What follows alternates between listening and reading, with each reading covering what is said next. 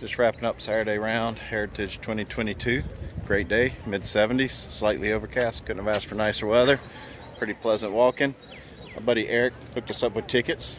First time he's ever seen a PGA event. What was your first impression? That was great. It was really neat seeing the pros play. It's like a whole different level Yeah. than what you see anywhere else. It's amazing.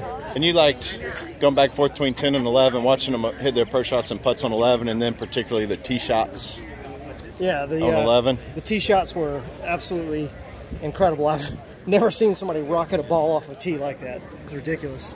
Yeah, a lot of fun today, and a very affordable event overall. Let's see. Nope. Scott Piercy over there. Scott Piercy behind me, signing some autographs.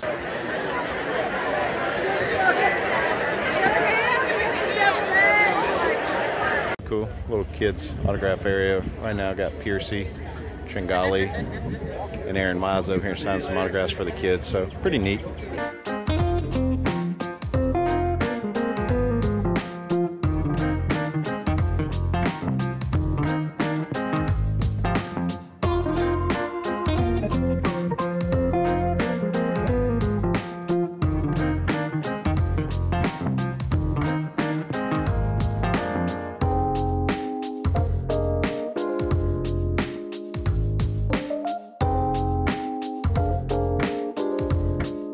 The Goodyear blimp, way up in the sky.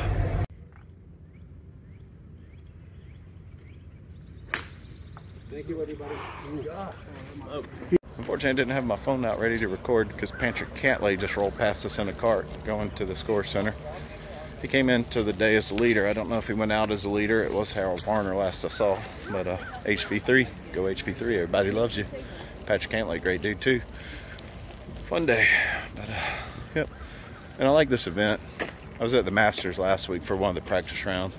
It's a lot more relaxed, relaxed atmosphere, kind of like a party here, whereas Augusta National is very serious, no cell phones. Both wonderful experiences, just different type of experiences.